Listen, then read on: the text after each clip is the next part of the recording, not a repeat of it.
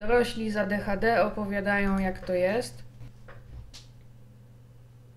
Hej! Zapraszam na kolejny odcinek z serii e, Dorośli z ADHD opowiadają, opowiadają, jak to jest. E, w tym odcinku będziemy rozmawiać o e, trudnościach z koncentracją oraz o hiperfokusie. Lu opowie też trochę o DID. Na dole znajdziecie odnośniki do informacji rozwijających temat. Y, a tutaj możecie zobaczyć poprzedni odcinek i ogólnie polecam zajrzeć, tam wszyscy się przedstawiają i opowiadamy o y, nieuważnych błędach. Dodam jeszcze tylko, że w poprzednim odcinku był błąd w jednym miejscu, bo Barto ma podejrzenie, Y, schizotypowego zaburzenia osobowości, a tam było napisane schizoidalne. Y, tylko to schizotypowe jest y, w ICD jako zaburzenie schizotypowe, a nie osobowości. Osobowości jest w DSM, czyli w amerykańskiej klasyfikacji, a w naszej mamy zaburzenie schizotypowe, więc tam poprawiłam i wpisałam już teraz poprawną nazwę. No i chyba tyle. Zapraszam do oglądania. To ja powiem tylko, że ja miałem e, korki z matmy w liceum i po prostu ja każde korki przepłakałem i ten biedny koleś nie wiedział, dlaczego nie jest w stanie mi wytłumaczyć tych rzeczy, albo dlaczego ja je rozumiem, ale robię zadania źle. I no, i jakby pozdrawiam mój korepetytorzy z matmy w liceum. To nie twoja wina, to wina systemu. E, często ma trudności z utrzymaniem uwagi w zadaniach lub zabawach, na przykład ma trudności z utrzymaniem skupienia podczas wykładów, rozmów lub długiego czytania. E, to u mnie właśnie też tak jest, że no mam te trudności z trzymaniem uwagi, łatwo się rozpraszam. To rozpraszanie u mnie wygląda głównie tak, że się zamyślam po prostu, że jak długo słucham, e, jak ktoś mówi, to się zamyślam i na przykład mi w niezamyślaniu się pomaga rysowanie albo bawienie się czymś rękami, po prostu coś muszę robić I dlatego na lekcjach zawsze gryzdałam po marginesach, co się nauczycielom nie podobało. E, albo się tam, nie wiem, bawiłam długopisem czy coś, po prostu e, jeszcze często się wiercę, macham nogami albo właśnie tam się ruszam i tak dalej, to mi ułatwia skupienie, bo właśnie bardzo łatwo się rozpraszam tym, że wpadnie mi do głowy jakaś myśl i już się od razu na niej skupiam i nie słyszę tam, co ktoś mówi. E, I tak samo jak robię jakieś rzeczy, na przykład czytam książkę, coś mi wpadnie do głowy i myślę zamiast czytać, i potem się zorientuję, że od jakiegoś czasu nie czytam. I przez to mi wszystko zajmuje strasznie dużo czasu, bo właśnie tak odpływam w różnych momentach. E, dobra, żeby nie przedłużać, to na razie oddam komuś głos, najwyżej później jeszcze coś powiem, jak mi się przypomni. Dam podobnie z tym odpływaniem. Mąż ze mnie śmieje. Żeby obejrzeć serial albo z nim porozmawiać, szczególnie jak coś jest mega ważne, to się śmieje, że muszę mieć ręce zajęte, tak żeby połowa mojego mózgu była zajęta i uważała, że jest zajęta, wtedy druga jest w stanie słuchać. I mniej więcej tak to działa u mnie, jeżeli chodzi o to rozpraszanie się. Znaczy ja mam dwie fazy. Jest albo totalny hiperfokus, gdzie no, jestem skupiona maksymalnie, a potem hiperfokusie następuje, mm, nie mam takiego tradycyjnego zjazdu. Jestem po prostu tak zmęczona, e, że nie funkcjonuje. Potrafię wtedy spać po kilkanaście godzin, e, znaczy chciałabym, ale na przykład wstaję rano z dzieckiem, wyprawiam je do szkoły, robię to, co muszę i idę spać na drzemkę aż do momentu, kiedy on wróci, czyli ten mój, ten mój gest hiperfokusa faktycznie tak wygląda. E, natomiast jeśli chodzi o to odpływanie, kurczę, e, to jest tak, wiesz, rozmawiasz z kimś, wszystko jest fajnie i nie wiem, pada jakieś totalne słowo klucz z, z dupy, tak? Czyli e, i nagle ci się zaczyna przypominać takie, o, no tak, wiewiórka. Widziałam ostatnio wiewiórkę. Ciekawa jestem, co tak naprawdę jedzą wiewiórki. Ja automatycznie przestaję słyszeć tą osobę, tak totalnie. To ja chciałam jeszcze dodać, że też mam właśnie, też łapię takie hiperfokusy i w momencie, gdy mam hiperfokus, to wygląda to u mnie tak, że ja w ogóle nie zwracam uwagi wtedy na żadne bodźce na zewnątrz, ich nawet nie zauważam. I to wtedy y, ja nawet zapominam, że muszę iść do toalety, że muszę coś zjeść, pójść spać. I ja po prostu, ja cały czas wstrzymuję, nie idę do toalety, bo w głowie mam takie, dobra, jeszcze to zrobię i zaraz idę za pięć minut, nie? I to pięć minut po prostu potem się okazuje, że trwa trzy godziny na przykład. I się tak wciągam, że robię, y, na przykład siedzę do piątej rano i nawet nie zauważę, że już dawno miałam iść spać. I dopiero jak skończę, to mi się przypomina, że jestem głodna albo że muszę iść spać albo coś. I właśnie Wtedy ja nawet nie słyszę, co ludzie do mnie mówią, nic mnie nie rozprasza, nie przeszkadza, a jak nie mam tego stanu, no to każda drobna rzecz mnie potrafi rozproszyć. Tak, ja mam dokładnie to samo e, z tym hiperfokusem, że kiedy jestem skupiona tak maksymalnie, to nic nie dociera. Ktoś może do mnie mówić i nic nie dociera. Z tym jedzenia czy chodzenia do łazienki mam identycznie tak jak ty. Jeszcze 5 minut, jeszcze 5 minut, a w pewnym momencie po prostu przestajesz to odczuwać, przestajesz odczuwać to, że coś fizjologicznie musisz zrobić. E, dzisiaj staram się nie wpaść w hiperfokus, mimo to, że, e, że coś robię. E, jest to trochę ciężkie, powiem szczerze, że, że jest to ciężkie. W ogóle te hiperfokusy są, są kijowe, tak?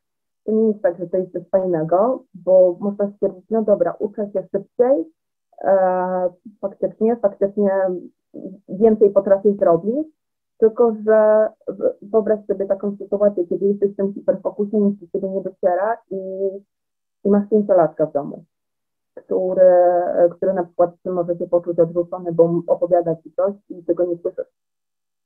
I to jest naprawdę kijowe. Dlatego staram się, bardzo się staram to jakoś, jakoś nad tym zapanować. I powiem szczerze, nie jest to łatwe, bo E, niezależnie od tego, czy jesteś na hiperfokusie i nagle kończysz zadanie i masz takie, no dobra, co ja teraz zrobię ze swoim życiem, e, to po tym pierwszym powstaniu oddechu pojawia się poczucie winy, tak, że że zaniedbałaś wszystko, zaniedbałaś siebie, swoje zdrowie, swoich bliskich, swoje obowiązki. I to nie jest tak, że skupiamy się na tym, co mamy zrobić, tak. To jest e, jakaś randomowa rzecz, E, która może być ważna, a która może wcale nie być istotna. I pojawia się to straszne poczucie winy, później e, straszne przemęczenie. Z jednej strony wiesz, że musisz się zregenerować, a z drugiej znowu tak naprawdę dajesz ciała na całej linii. Obwiniasz się tak naprawdę cały czas o to, że nie jesteś wystarczająco, nie wiem, dobra, czy, czy nie zwracasz uwagi na ludzi, na, którym, na których ci zależy. U mnie się pojawia taki lęk, że po prostu nie jestem dobrą matką, tak? Bo, bo mój syn nie dostaje najprawdopodobniej tyle uwagi, ile powinien, a znowu zdarza mi się złapać hiperfokus na niego i wtedy no, nie ma też tej przestrzeni i, i widzę, jak się cofa w tej samodzielności. Generalnie no, no nie jest to fajne. No to u mnie to kryterium wyglądało w ten sposób, że po prostu często gdzieś tam się zamyślałam w szkole, nie? Podczas, nie wiem, lekcji, e, gdzieś tam patrzyłam z oknem i później, no, e, potrafili nauczyciele na to zwracać uwagę, że ja odpływam gdzieś tam sobie. Też te trudności z utrzymaniem skupienia e, to też miały związek na przykład jak e, trzeba było coś zapisać, nauczyciel dyktował, to po prostu e, ja nie da, potrafiłam nie nadążyć, stracić na tym skupienie, e, więc no, a było mi głupio się przyznać, że nie wiem, straciłam wątek, więc później odpisywałam od koleżanki, nie, pytałam koleżanki, czy, no, czy może mi dać zaszyt, nie. E,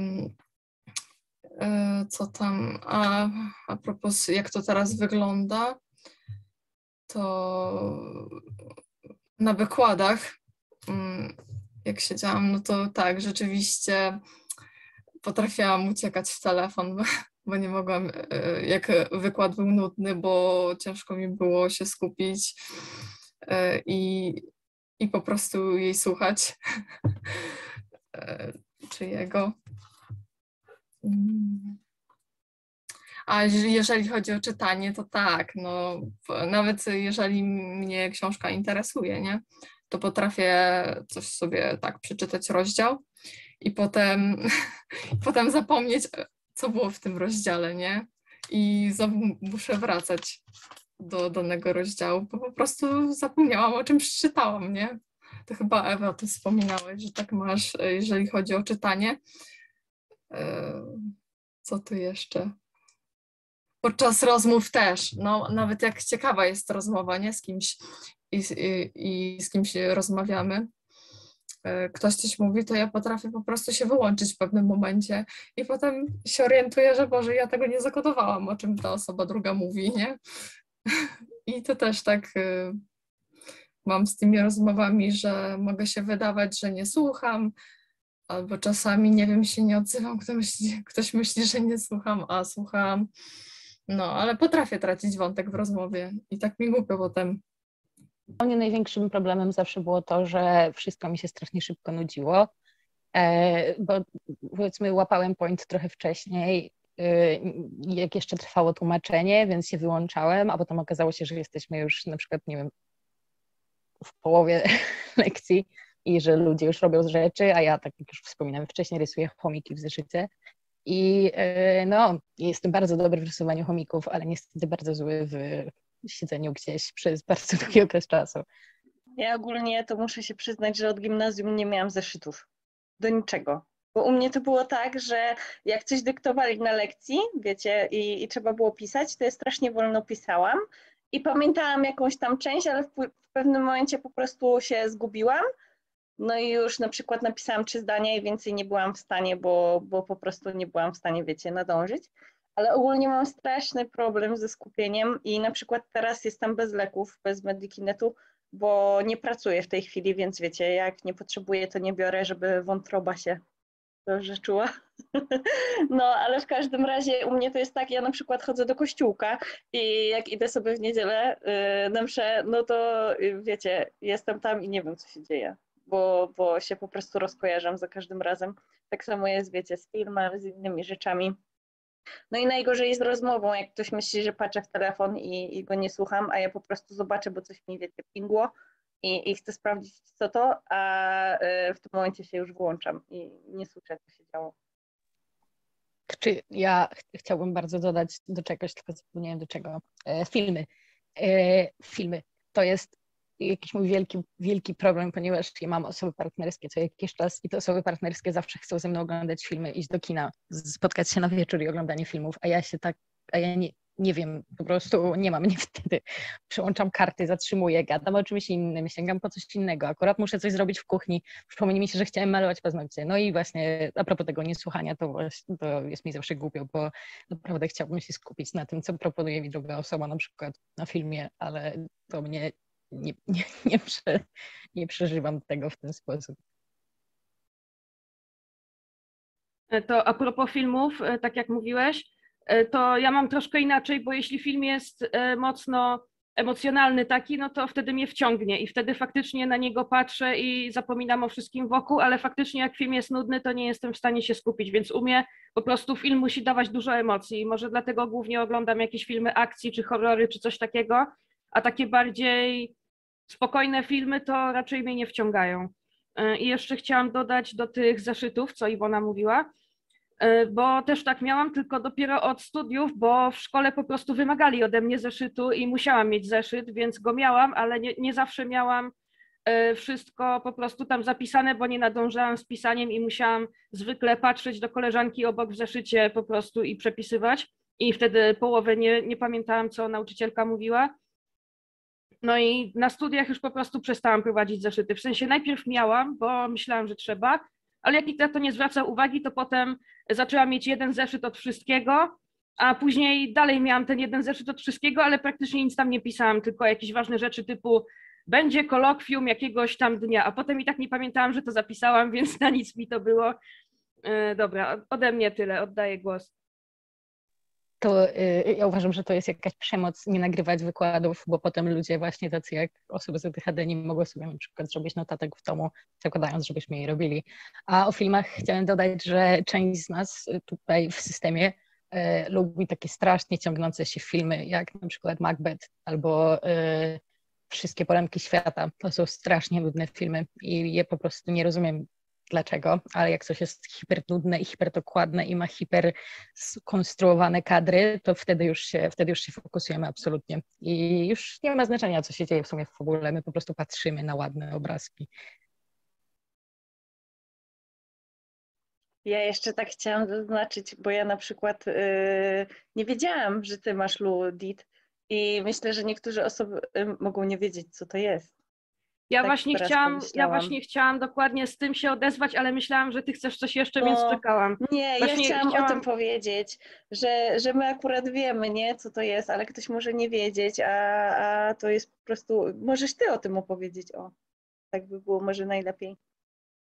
W sensie, że ja, to ja myślę, że Lu najlepiej, żeby opowiedział, bo właśnie chciałam o to poprosić, bo niektórzy, co nas oglądają, mogą nie wiedzieć w ogóle o co chodzi, dlatego tak wiesz, skrótowo po prostu, co to jest.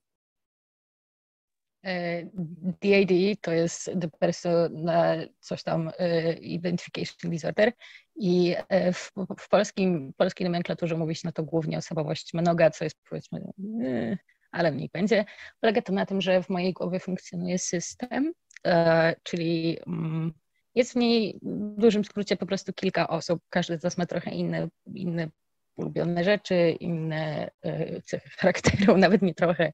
Każdy z nas przejawia trochę inny obraz, e, obraz mnie samego, tego. I e, te e, osoby tworzą się przy doświadczeniu traumy, zazwyczaj nie muszą, ale zazwyczaj tworzą się przy doświadczeniu bądź przepracowywaniu traumy. Jest to po prostu sposób mózgu mojego ciała, który na radzenie sobie z ciężkimi rzeczami. I nas jest 10 akurat ale są systemy, które mają po 50 osób na przykład. E, Ja nie wiem, czym są alty na przykład, ale wiem, kim jest host. E, Host jest osobą, która kontroluje ciało i e, jest osoba, która nazywa się chyba hiperhost albo coś takiego. I to jest osoba, która najczęściej kontroluje ciało na dany okres czasu. I e, kontrola ciała to nie jest jakaś straszny rodzaj magii, chociaż to może trochę tak brzmieć i dla mnie trochę tak brzmiało, kiedy jeszcze powiedzmy dopiero się uczyłem, że jest nas parę. E, To jest kwestia tego, że po prostu ktoś wychodzi mm, na front, frontuje i e, no, tak, u nas to wygląda w ten sposób, że sobie wszyscy rozmawiamy i w miarę podejmujemy decyzje demo- demokratycznie, natomiast to tak jakbyśmy mieli do czynienia z innymi ludźmi, tylko ci ludzie po prostu mają bardzo mm, stały, stałą wymianę informacji między sobą. To co do tych altów i hostów, to my po prostu używamy innych e, słów, bo wiem, że niektórzy z DID na przykład używają słowa host w odniesieniu do osoby, która była w ciele jako pierwsza, która się z nim urodziła, a alty jako osoby, które po prostu wytworzyły się później. Ja tylko uznałam Lukę, ponieważ Luka był pierwszy w ciele. Luka kiedyś wolał imię Lucjan, ale teraz jest Luka. Natomiast prawie w ogóle nie wychodzi, bo ma swoją, nie wiem, emofazę. Ja w każdym razie chciałam powiedzieć, że dzięki, że o tym mówisz, bo to jest bardzo taki temat trudny i, i mało poruszany, nie? Ja ogólnie w przyszłości bym chciała też nagrać właśnie film o DID, bo to jest jedno z najmniej rozumianych y, zaburzeń, więc jakbyś chciał wystąpić, to, y, to byłoby fajnie. Jejku, ile ja bym teraz dała, żeby móc przeczytać całą książkę. Po prostu gdziekolwiek zaczynam jakąś książkę, to kończę mniej więcej w połowie i jakoś potem y, zwykłe okoliczności wpływają na to, że i tak nie dokończę tej książki. E, wykładach y, w szkole mogę powiedzieć, że y, też bardzo często się rozpraszałam. O ile to były jakieś luźne zajęcia, w których nie było jakichś ważnych informacji, na przykład na temat pracy czy coś w tym stylu, więc jakieś na przykład głupie prezentacje z Colgate, na przykład. Naprawdę ciężko skupić się nad czymś, y, co y, niby wymaga naprawdę mojego skupienia i, i po prostu potrafiłam y, w szkole przeszkadzać na przykład innym koleżankom, bo ja sobie coś tam już rzuciłam pod nosem, albo coś już sobie rysowałam niezwiązanego właśnie z tematyką, a one chciały na przykład posłuchać. Y, Widzę to też w pracy, że kiedy powinna być faktycznie skupiona przy lekarzu i czekać na jego uwagi, to ja się y, staram skupić i, i koncentruję się, koncentruję, a nagle w głowie mi na przykład leci makarena, nie? I, i albo nie wiem, jakaś zupełnie inna piosenka i, i chociaż nie nucę to przy lekarzu czy coś, ale nagle lekarz do mnie mówi coś, a ja nie do końca to usłyszę, no i tak głupio mi potem po, poprosić o to, żeby mi lekarz powtórzył, no ale proszę o powtórzenie. I, I dalej po prostu gdzieś tam nagle szybko próbuję się skoncentrować i tak dalej, wychodzi z różnym skutkiem, na przykład, że przeleje mi się trochę wody i zrobię za dużo materiału, na przykład. Coś takiego. Ja to z tą muzyką też tak mam, że mi po prostu w losowych momentach potrafi jakaś muzyka lecieć i tego się nie da wyłączyć, to po prostu leci i no i jest w głowie, nie? Tak jak faktycznie by leciała muzyka, tylko ona leci w głowie, w mojej wyobraźni, ale ja tego nie mogę zatrzymać. U ciebie też tak jest? Czy, czy ty masz Tak. większą kontrolę nad tym? Nie, właśnie nie. To jest y, o tyle y, śmieszne i dziwne, że po prostu nagle włącza się jakaś randomowa piosenka w głowie i, i bądź ty człowieku mądry, y, skąd ona w ogóle się w mojej głowie pojawiła. Na przykład, nie wiem, y, raz mi Sławomir leciał w głowie i zupełnie nie miałam pojęcia, dlaczego akurat Sławomir, bo go nie, nie słucham. Ale jakieś takie piosenki, których na przykład nie słuchałam po kilka lat, a dalej mi lecą w głowie. Yy, No jest to takie ciężkie. Faktycznie gdzieś tam ta koncentracja bardzo ucieka i, i jak już słyszę muzykę w swojej głowie, to już wiem, że po prostu nic z tej mojej koncentracji. No powiedziałam tutaj na przykładzie pracy i spotkań e, z zespołem. E, e, To się wiąże z e, trudnością z utrzymaniem skupienia podczas rozmów. Natomiast pamiętam e, wykłady e, na studiach, gdzie również e, w ogóle nie utrzymywało tego skupienia, zajmowało się czymś innym podczas samego wykładu, czasu wykładowego. I potem i tak naturalną rzeczą było dla mnie, że nadrabiam wykładowy materiał samowy w domu. Jak najbardziej. Po prostu tak o tym czytaniu sobie myślę, że ja bardzo lubię czytać, ale bardzo ciężko mi się skupić i usiedzieć w ogóle na jednym miejscu, cały czas się wiercę e, i naprawdę lektura musi mnie bardzo, bardzo mocno wciągnąć. Jeżeli mam takiego hyperfokusa na czytanie, to potrafię czytać kilka godzin bez przerwy, bez przerwy na picie, bez przerwy na toaletę e, i naprawdę zdarza mi się to, ale mam duży problem, żeby właśnie utrzymać uwagę. E, Szczególnie e, w pracy to widzę, że zaczynam jedno zadanie, potem e, przeskakuję do następnego. Ciężko mi właśnie się poświęcić jednemu zadaniu tak w 100% i być na tym skupionym. To jest naprawdę dla mnie trudne. W zabawach nie pamiętam, bo mało się bawiłam w dzieciństwie, ale raczej szybko się nudziłam też. Jakby szybko musiałam zmienić nie? czynności. Więc jak najbardziej spełniam. A w następnym odcinku porozmawiamy o bujaniu w obłokach.